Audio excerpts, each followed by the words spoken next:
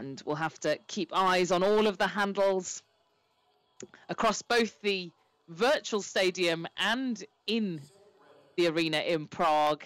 Are we ready to rock and roll? Attention and go. And all of these athletes will get underway in these categories 19 through 20, 21 to 22, and of course the lightweights as well. But uh, here we go, off the mark. I, am trying to see at the moment, Natasha, who is out at the front of this field. It's a tough one. I think maybe looking down to some of the Czech athletes there. Um, I thought it was Eliska there in second place. And look at these great images we've got coming in from all around the world. We do Farida Al Saeed on your monitor here, looking to be doing this with her teammate, Hubert, as we mentioned earlier. What a huge cheering squad she has there. She looks very long and strong competing in her uniform. We'll have to see how things shake out in her race. We do have a couple leaders here. So we have Doris Meinbek for the women's 1920. We have Marie Dolezova uh, from Czechia, so a hometown favorite as well in the arena. Here we can see Alexandra Föster also looking very strong. She is in fourth place right now, third place, excuse me, in her race, holding a 142. And here we go, we have some of our athletes from Czechia. It's great to see that hometown representation that we have here look at these stroke rates around, you know, 30, 32. And then from Germany, Paula Heinen up around a 34. Uh, so all very competitive times, it looks like so far as they end out this first 500 meters. Yeah, Doris Meinbek really blasting out the gates here, starting to drift up on those split times, which is that number you can see on the right hand side of the leaderboard that starts with a one colon. So that 144, that's the time it takes to complete 500 meters in. So the higher the number, the slower the time. We want to see nice low numbers there, but she's up there. Um, if you look at the graphics, about a boat length ahead, if not a bit more than the rest of this field. Uh, the Estonian, also an on water athlete, and uh, looking to uh, add to her three other World Indoor Championship titles. She's a 28 time Estonian champion as well. Um, so, no surprises to see her out in front. Uh, but it's uh, Alexandra Föster in the other category that we uh, we predicted would be well up there uh, in that women's 21 to 22 category, and she's actually pushing the splits even lower. 142s. That's so impressive. Moving into the second 500 meters, we're well through it now, and hot on her tails is uh, Marie Doležalová of the of Czechia. Uh, only six meters back. She's keeping really good tabs here with uh, the with the German athlete. Um, and could we see a race on our hands here into the sprinting stages? But this gap um, that we've got in the women's 19 to 20 from Doris Meinbek back is quite astounding. Jumping now to the lightweight women, uh, a much closer race than we've got in the other two categories. Look at this here between Parente and Podrazilova of Czechia. Just three meters separating these two, Natasha.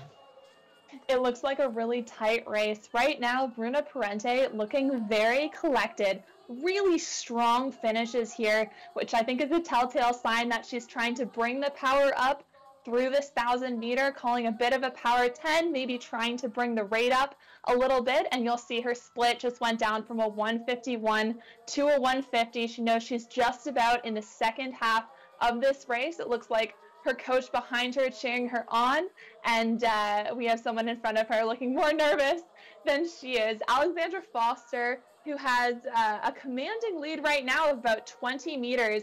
She is also rowing very long. She looks quite calm. Remember, to get under that seven minute mark, they need a, a split under 145. So this 142 is looking very promising. Um, we have Dola uh, Doležalová here from Czechia, who is on the floor, and she's at a 148. So if she does bring it down soon, she can also hope to get near that seven minute marker.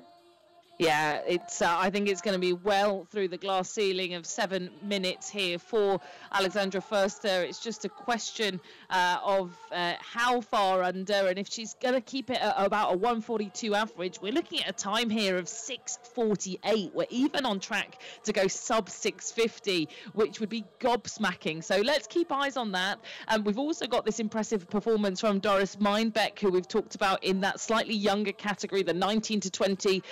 An absolutely enormous margin 42 metres over the Swedish athlete in silver medal position, Amanda Elizabeth Jobs. Uh, but both pulling similar splits now. Maybe Meinbek just starting uh, to waver here going into the final 500 metres. But I think the gap too great here for the Swede to close down, Natasha. I think so. And I've, I've been in that position. Maybe she went out a little bit too hard. Maybe she was a little bit too optimistic, but she's just waiting to see that 500 meter marker. Once she passes that third 500, we call it, she knows she can make it through to the end. You can see the breakdown of races here. We also have some very tight races in the middle. So Paula Heinen, Aliska Sijova, Ariel Nussbaum, they're all within about three, four meters of one another. So we'll start to see them sprint. They're all around a 148, 149, and it's whoever can bring it down in their last 500 meter for that women's 1920 race. There really is a race in the middle, and that third place is not determined at all at this time. Down in those red boats, we have the women's 21 22 category. Um, Alexandra Föster, as you say, a 142 time, so well below that seven minute marker. But we also have Mazarine Guilbert, who we see on our screen right now, holding a 146. She is really looking at that seven minute time, and her cheering squad is starting to go right now. They really want to carry her through the last 250 meters of the race. Yeah, the podium places here with plenty of support, and we've got a lot of them on our screen here. Doris Meinbek in the top big picture in the stadium in Prague, going for the gold almost certainly into the last 100 metres or so for her. She's pulling a, a split of 141s, the grimace on her face, huge, but I think she's almost certain for a blistering time. Alexandra Föster will finish there 142.1, a time of six 48.4 in that women's 21 to 22 category. She just keeps getting better. Let's see what Meinbek records. Yes, sub 7, 657.7 to win out in the women's 19 to 20 category. A gold medal for her to add to her collection of both national and world titles. Uh, a great round of applause there for Mazarine Guilbert of uh, Belgium.